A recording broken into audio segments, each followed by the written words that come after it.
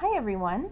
I've noticed that there's lots of questions on here asking about making choice boards and how you um, have links that are clickable for students to use um, in Seesaw. So I'm just like everybody else, I'm just starting to get the hang of this and I've watched lots of videos and I thought that I would put together my own little quick tutorial on how to make choice boards um, in a really quick and easy way. So the first thing I'm going to do is I'm going to open up Google Docs and I'm going to open up a slide. So um, the slide picture looks like this one here and you would create a new document. I'm working on um, a previous document that I made just so I could skip a few steps while I'm showing everybody what to do. So the first thing um, I'm going to show you is just how to make a background. So I'm going to right click and just change the background color and I'm going to change it to this one here and done. So now my um, slide has a background color. It's not going to move. I can't pick it up. It's stuck there and it's out of the way. The next thing I'm going to add is a title. I always like to put a box for a title at the top and I like to um, make it a black title with a black border and then it it will just stay there for all of my different presentations and I'll just go in and I'll change the title with a text box. So this um, title is called Road Safety. So I'm going to add that title in. I can change the font and I also really need to change the color because right now my um, my text box or my box that's going to go on top of is black so I need to change my font color so that it can be seen. So now I'll just take it and I'm just going to throw it up there for my title.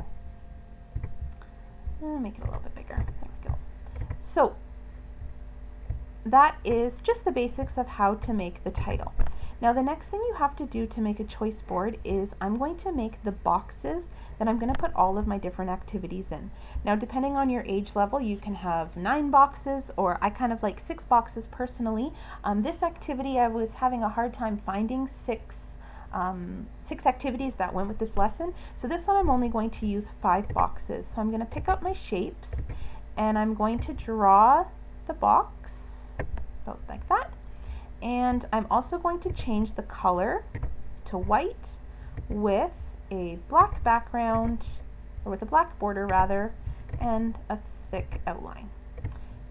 Now to make a box that is exactly the same as this one, I'm just going to control C and control V to copy and paste it. If you don't like to use the, um, the buttons, you can always copy it and paste. I personally like to use the shortcuts when I'm making these. So I can make all five of my boxes. I can also add in some arrows um, and that's just clip art. Just do a general search for some arrows if you want kids to follow a certain sequence. So the other thing that I like to do, I'm just going to move on to my next page here. The other thing that I like to do as well is I like to add my learning outcomes on my page. So down here, I have whatever the learning outcome is for this particular choice board. So this one's all about safety. So here's my outcome for grade one that matches um, these lessons. And I also have instructions here for the parents so that they know that they can click on any of the links for a learning activity. So now this is where things get a little bit trickier is you've got the boxes, you've got your text. How do I put in images and text and make it um, clickable for students? So I always start all of my um, all of my choice boards with my titles already along the side. That way I can just copy and paste and reuse the same template over and over and just change the activities as needed. So these are just some of the activities that I found so far that I'm using quite regularly. So this road safety choice board is going to have a video. So I want students to watch the video. I also want them to print and color a coloring sheet. I want them to go to a website and read together with their family. I also want them to listen to the story. And the last activity is I'd like them to do a family activity. So these are just, um, just simple text boxes that I can just easily move into um, my different choice activities. Now on this side is where I've just dropped down some screenshots for the activities. So some of you might not know how to do a screenshot. It is super easy. I'm just going to open up one of the websites that I'm using for an activity and I'm going to use my keyboard and I'm going to press the Windows Shift S button. And when I click Windows Shift S, I can select any piece of my screen to create an image. So I'm just going to click and drag and now it has copied an, an image onto my clipboard. So I can go back into my document and paste it and there's that image from that website. I can shrink it down and that's what I use for my images. Super easy to do that and that way you remember what it is and it also gives kids the visual of what it is that they're going to be doing when they click on that link. So that's all that these images here on the side are. They're just quick little screenshots that I made from my activities. So I'm just going to plunk in my screenshots here.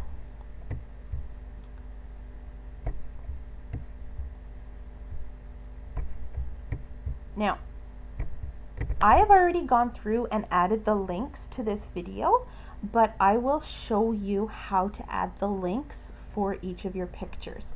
So what you're going to want to do is you're going to want to open up the website or um, whatever it is that you want students to get connected to.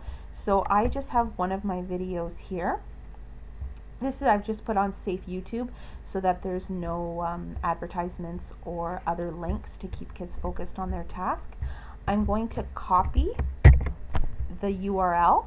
Then I'm going to go back into my document and I'm going to click on my image that I want to add the link to. Now mine's already linked, that's why that's popping up. If you click on yours, nothing will be popping up yet because you haven't added the link. So to make that link, you need to go to Insert, Link, and then you'll get a box where you can paste that link and apply. So now you have your link for your image and I've gone ahead and I've done that for all of mine. This one is linked to a website that has different coloring sheets. This one is linked to a comic. This one is linked to a Google Doc that I published that um, is just a read aloud of me um, reading a story. And this one is another Google Doc that I published that um, that just gives kids a family activity to complete for this um, lesson. So we finished our document. I'm just going to delete these ones here on the side. We finished our document. The links are in there. Now, how do you get it to your students so that they can click on the link? This is actually super easy and once I realized how easy it was, now I'm totally hooked on Google Slides. All you have to do is click File, Publish to the Web. As soon as you publish to the web, it will give you a link that you can copy to add to your Seesaw activities. So I'm going to copy my link, which I already did. I'm going to control C. Then I'm going to open up Seesaw into my activity library and I want to create a new activity. And this is where you need to make sure that you're adding this document to the right area. I'm going to add a multimedia instruction and I'm going to add a link. I don't add the document, I add the link. I'm going to put my link here and check OK. Now, it, I'm not sure why I always get this message, but I just click continue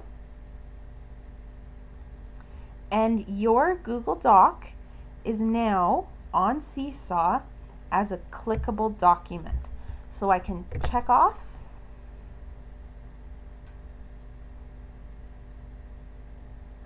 as it uploads slowly. So now I have my link for students. I can still add in my title. I can add in instructions if I choose to.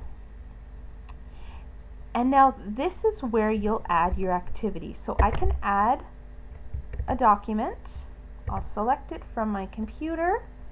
I've got my assignments here and this one is called um, which one is this one?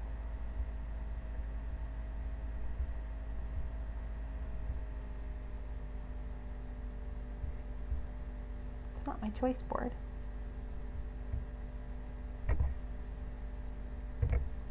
Okay, I found my lesson that matches it.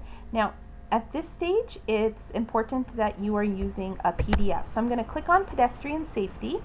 That's my lesson. And I'm going to open it up. And this is the document that students will be um, showing me their learning on. So this is different from the choice board. These are just simple activities that I made up that matches the lessons that they're going to be learning from their choice board. So I click check off. Then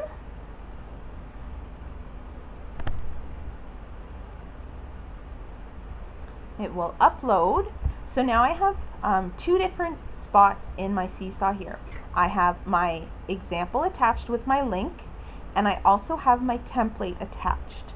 I can include instructions if I want, but I'm not going to at this point. point, and I can save it. Now, when students are going into this, you have to instruct them to click on your link. When they click it, they will get a document that they can click, which will open up all of their different activities that you selected for them to do on their choice board. So super easy for them to go in and click and I have it set up so that it always opens in a new window. That way it doesn't disrupt them um, going into, um, into each document. So each of my links are active and it works. And when, I, when they're finished going through their choice board, then what they'll do is they'll go in and they can add their response to the activity. So just like that, that's how you make a choice board on Google Slides and add it to Seesaw so that you have clickable links for students. I hope this helps. Good luck!